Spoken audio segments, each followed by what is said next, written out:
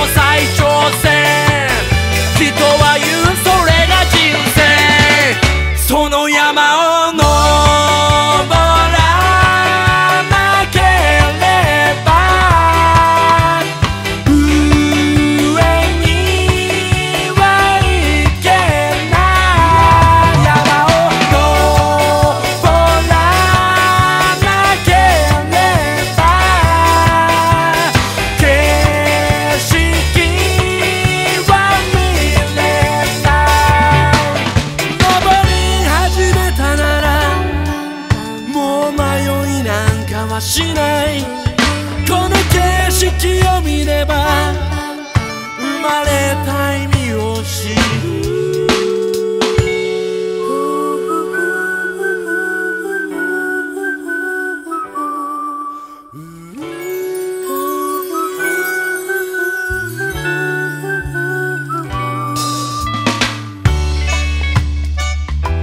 人生一回きりの終わりなき最高のジャーニー。